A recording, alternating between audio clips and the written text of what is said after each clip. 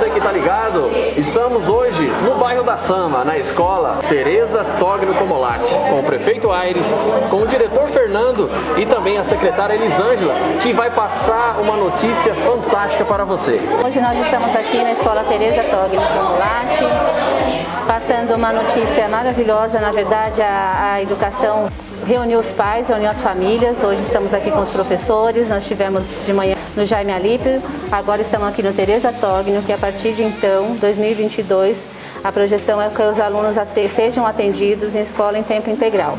Então, a partir de 2022, a gente vem com essa novidade aí na rede municipal. Esses alunos serão atendidos das 8 às 3 e meia da tarde, com esse atendimento em tempo integral. E nós esperamos aí, cumprindo essa meta do Plano Municipal de Educação, é, cumprindo as legislações, cumprindo aí todos os estudos feitos para esse atendimento, a gente espera aí que a rede é, tenha esse ganho, essa escola é, e a comunidade sejam muito bem atendidas.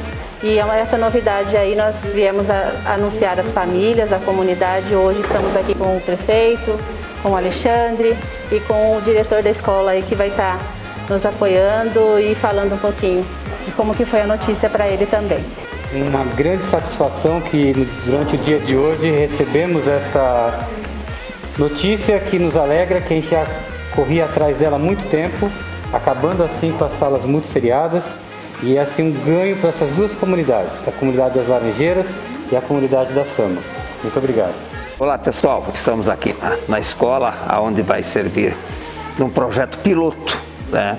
Isso o Estado faz como era o Vitalino aqui, agora são mais escolas passando para o tempo integral e também colocando a infantil lá na, eh, no bairro da Laranjeira. Então quero cumprimentar aqui o Alexandre, que é nosso chefe de gabinete, nosso secretário de Educação e o nosso diretor, que não podia perder essa oportunidade de nos apoiar nesse projeto fantástico. Até porque não fazemos nada fora da lei. Tudo dentro da legislação. Às vezes parece espantoso o momento, mas também é um momento de alegria.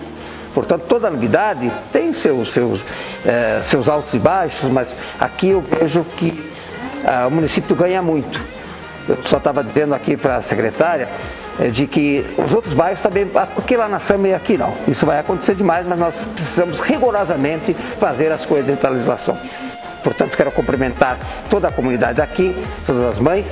Um grande abraço à comunidade e a todos vocês que me acompanham. Obrigado, que Deus abençoe.